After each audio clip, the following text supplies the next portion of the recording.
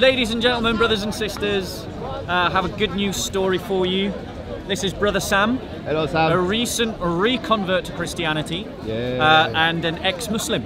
Ah, okay. Um, now, some of you may remember Sam, and hopefully JC will do a flashback. Yeah. When uh, me and Hamza had a bit of a clash here in the park, um, and and it was sort of like put on film, and, and me and Hamza had a bit of an argy bargy.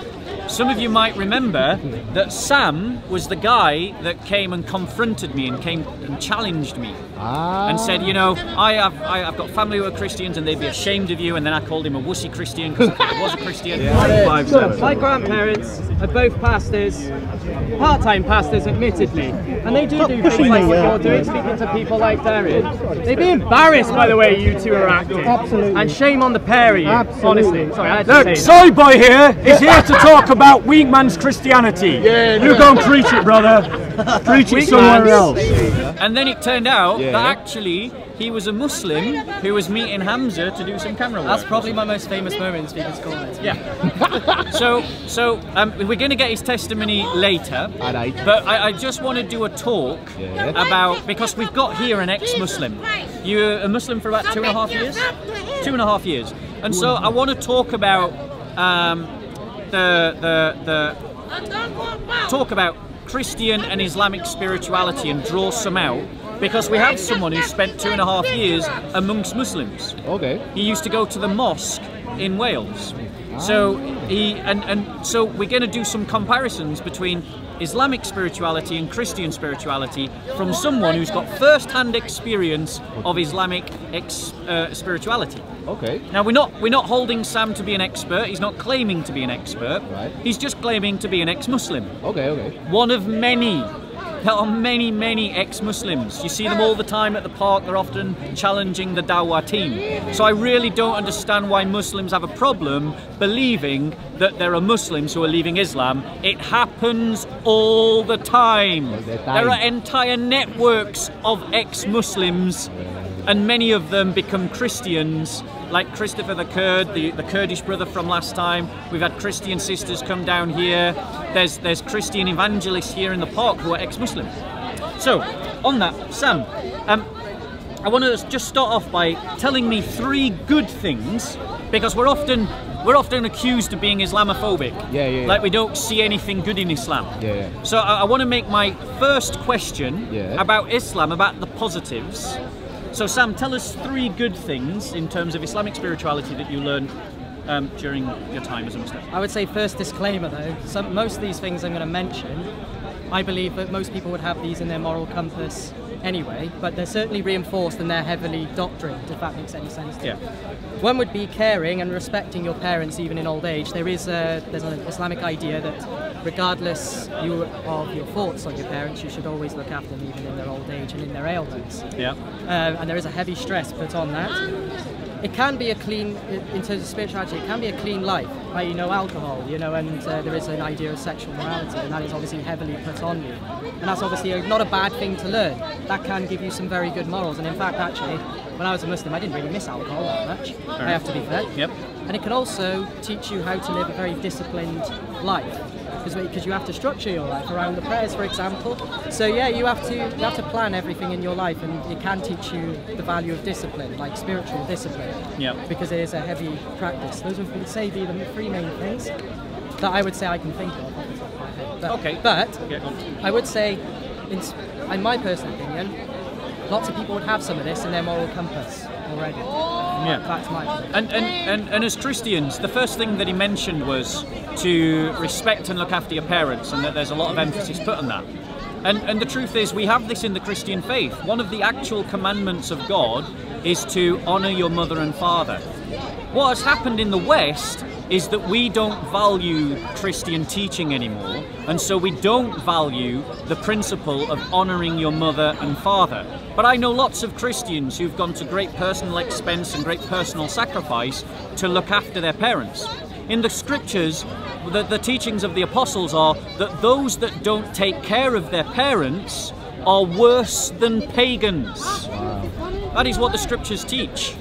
So we, we uh, whilst I acknowledge that there is this nobility within the Islamic community, it's nothing that we didn't have before Islam.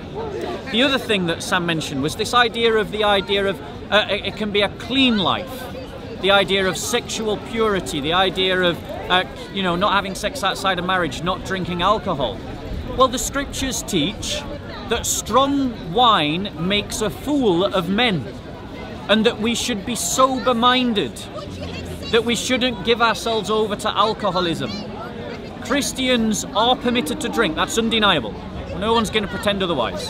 But the idea of becoming drunk like the Western English do is foreign to the church. It's foreign.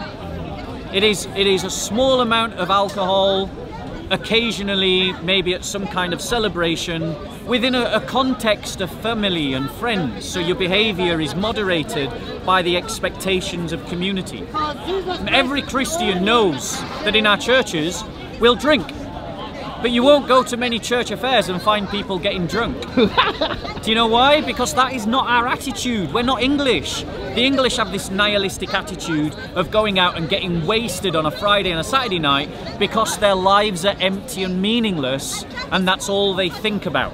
That's all they think is important. It gives meaning to their lives. It's, the, it's a cry of emptiness that Christianity can fulfill. And Christianity teaches there should be no sex outside of marriage. It teaches that the, the marriage bed is sacred. It teaches that, that even to look at a woman with lust in your eyes is to commit adultery with her. So the, the standard of Christian teaching is comparable to what we see in Islam. We don't need Islam for this.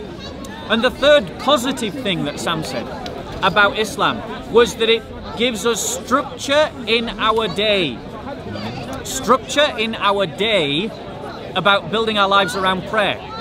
Well, how many times have you heard me talking about the seven disciplines of the Christian faith? And the first of them is prayer the idea of having a regular rhythm of prayer in your day. It's absolutely essential that Christians pray regularly and structure prayer into their lives. But one of the differences between Islam and Christianity is that a Christian must work out their salvation with fear and trembling. And so a regular rhythm of prayer in my life may look different to a regular rhythm of prayer in Sam's life. Because the circumstances might be different.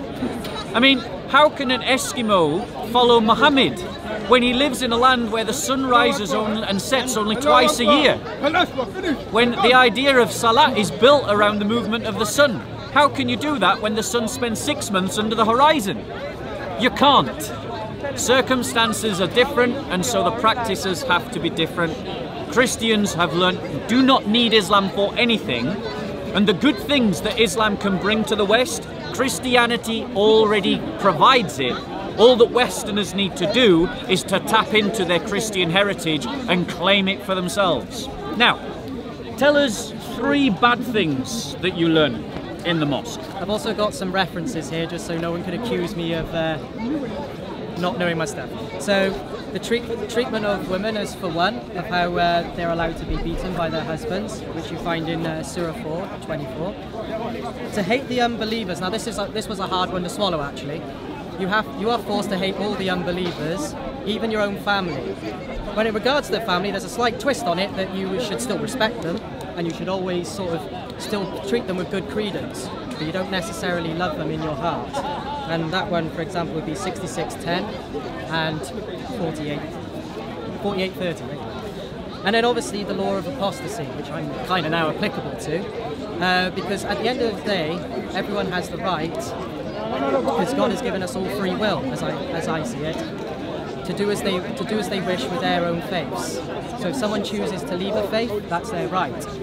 And obviously you find this in Bukhari and obviously in the Quran as well. In the Quran it's in 489 it's 55 to 60. Okay, so I want you, all you liberal do-gooders that may come across this video to realise that there are Muslims in the park that will defend the idea of killing apostates. That means that there are Muslims in the park that would defend the idea of killing Sam because he left Islam. Let that sit on your conscience for a second the next time that you try to teach that all religions are the same. Because I have my New Testament with me, and I challenge anyone to find in the New Testament a command to kill apostates. There is no such command. The idea of hating the unbeliever is something that you were taught in the mosque. Yes. The idea that you couldn't love those who didn't worship Allah. And we've heard other Muslims in the park talk about hating for the cause of Allah. We, we, we know that they say that. Well, hold on one second. Jesus said, You shall know them by their fruits, and by their fruits you shall know them. If your religion is cultivating hatred and bitterness towards others, and you embrace that teaching of your religion, then that means that you are embracing hatred and bitterness towards others. It becomes who you are. By contrast, what did our Lord say? He said, Love your enemies and do good to those that curse you. The contrast could not be more stark between the teachings of Muhammad and the teachings of our Lord Jesus Christ.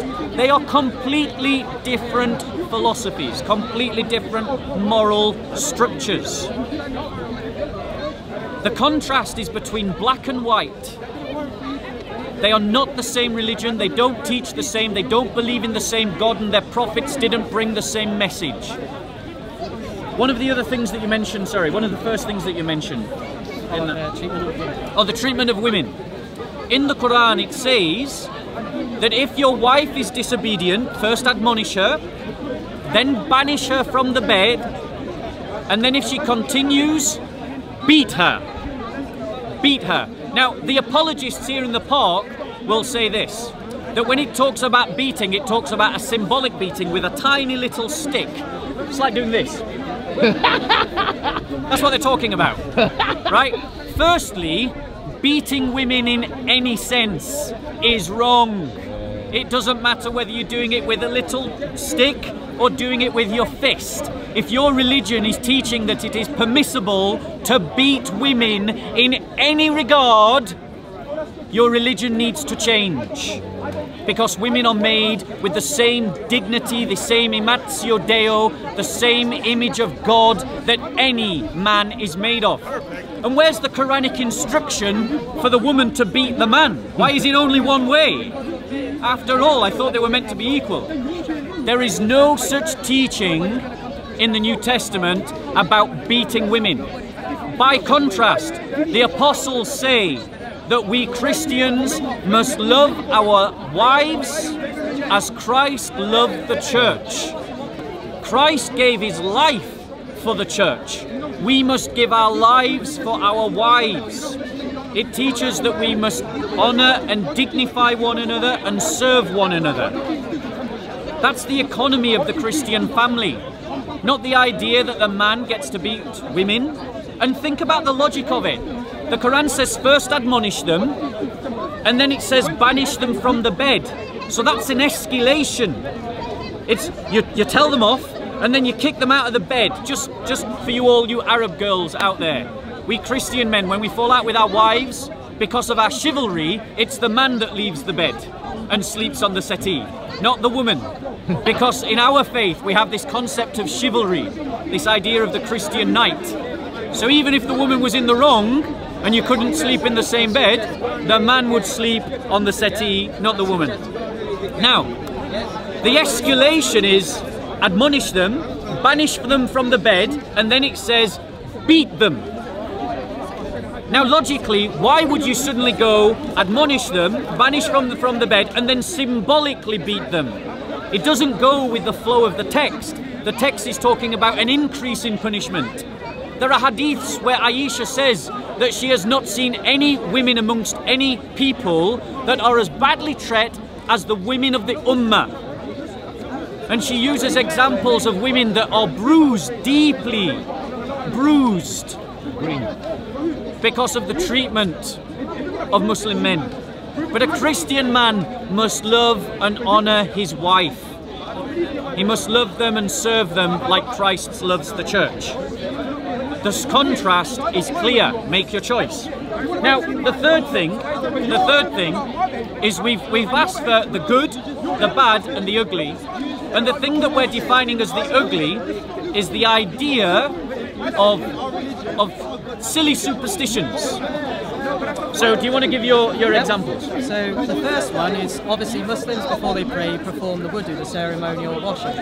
Now majority of people I used to do this. Once you've done it, you'll just dry yourself off. But in Sahih Muslim 244, there is a hadith that says that you you just let yourself drip dry essentially, and every drop of water that drops off you is a sin of some description. Speak to the camera, bro. Uh, so yeah, and uh, yeah, that, that just seems a bit silly. Then there's another one is saying Subhanallah a hundred times removes. At first, I thought it was a certain number of sins, but I looked it up last night, and it's all your sins. If you say Subhanallah a hundred times, it removes all your sins. That's from Bukhari, uh, six four oh five. And then finally, I thought I go with kissing the black stone, just because in in Bukhari in 597, oh, yep 597, the companions of Muhammad only did this because they saw him do it, and not for any other reason. Why is that? Like, So, to be clear, to be clear, there are many there are many examples of the accretions of superstition within the Christian church. I know of Christians who think that because they've got a statue of a certain saint, that that means that they their driving is protected. Uh, the camera, JC. Camera, JC. There you go. So, so that there's, there's, there's, yeah, yeah, he's going to edit that bit out. Yeah. So, so the fact of the matter is, there are examples of silly superstitions within the Christian community. You go to churches and you see people like rubbing the toe of Saint Peter. You see all these brass statues where it's all darkened because of oxidization, but the toe is shiny and buff because people touch it, as if somehow it brings them luck. So there are superstitions within the Christian faith as well. I'm not saying that we're free of superstition, but show me them in the New Testament. Show me them rooted in what Jesus did. Show me them in Jesus' teaching. There's no such superstitions within the Christian faith. Shall we just move back a bit? Shall we just move back a bit? Stop crying! Stop crying! Right, So, right. let, let, let, Come here. Yeah, and then they get into an argument. So there are superstitions within the Christian faith, Yeah. but they can't be rooted in Jesus' teaching. But Muslims literally kiss a rock for no reason except Muhammad did it. There are other hadiths, if I'm awa- if, if I'm correct, where Muslims believe that the, the rock is black because it has absorbed the sins Yeah. of Muslims. Really? Really? Well, in the The i- hadith I- that I quoted, I can't quote it exactly, forgive me for any Muslims watching, but the companion of, uh, of uh, Muhammad said, in his own words, I only kiss you because I saw the Prophet do it. Yeah. I only kiss you because I saw the Prophet do it. It's a noisy place, Speaker's Corner. So, anyway, as Christians, we believe, we believe that salvation, we believe that salvation is a gift of God. It is something that God does for us through His grace. The idea that you can say God's name and this wipes away your sins. Why a hundred times? Why not 99 times? JC, take the conversation elsewhere. Why, why, why not 99 times? Why not 101 times? It's a ridiculous superstition made for a god who resembles a fetishist. You've got to say Subhanallah a hundred times. Subhanallah. Subhanallah. Sub- I don't know. Subhanallah. Yeah, you got to say it a hundred times.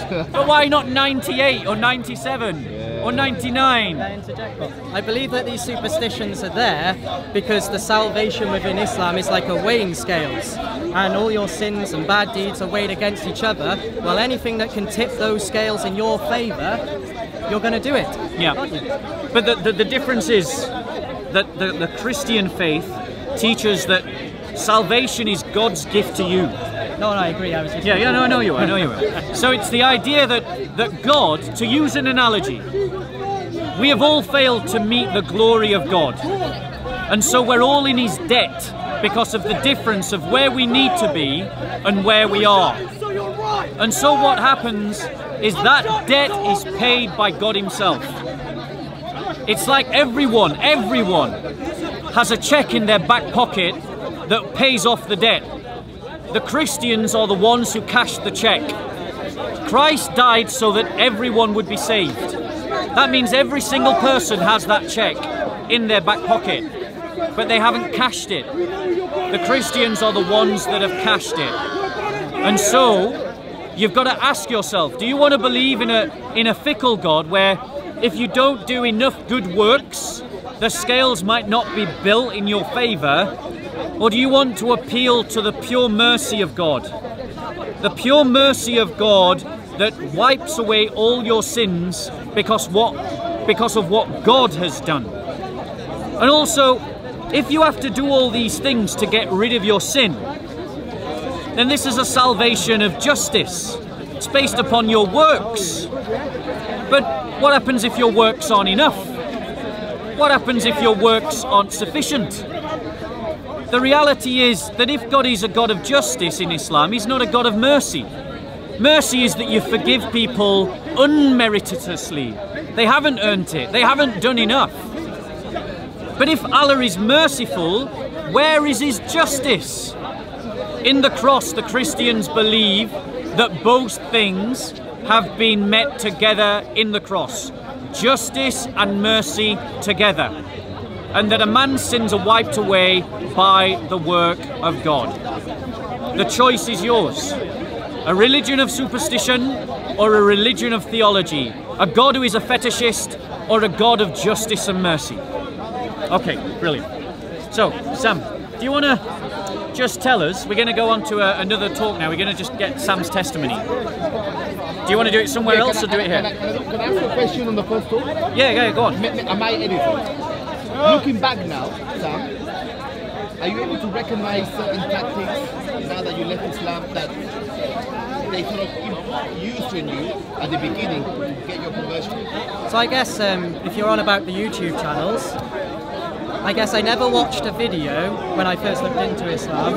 Yeah, talk say to when say when this man was being questioned, or say Hatun, or or uh, what's the other guy, Godwin.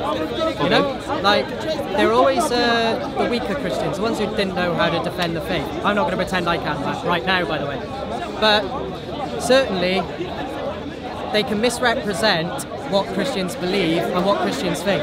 Such as So, so for example, the Trinity, they try to make it as three literal gods. That's not the case. It's one God and three persons. You know, and like, uh, but you in some of these videos, you would see the Christians walking away thinking, "Oh, that person was right," whereas really they had their faith twisted and misconstrued. Okay, okay. Any other questions? I think that's about it. Yes, that's Okay. Sorry. Are, are, are- is the microphone good with the background noises? Yeah, this- To do the testimony. Yeah, this goes straight to Okay, guys. so we're, we're going to do your testimony now.